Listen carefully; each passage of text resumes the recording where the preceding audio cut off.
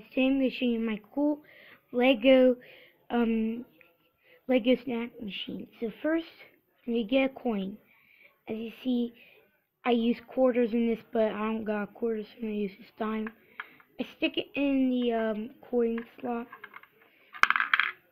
Now, what I do is I push this lever.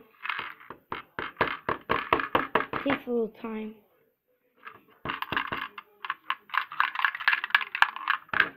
And there it is. Mm.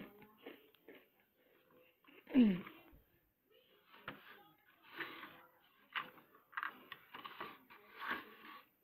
Here's how it works. I'm going to show you. Here's inside the um, cracker machine. It's.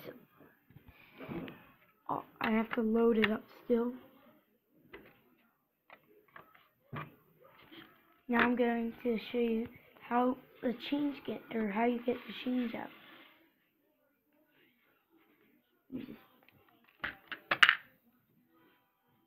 So you remove this red brick.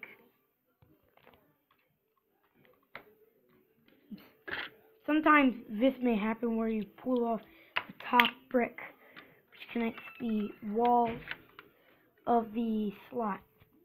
What you do is once you remove that brick, you remove the whole wall, the whole panel, and you got your coin back.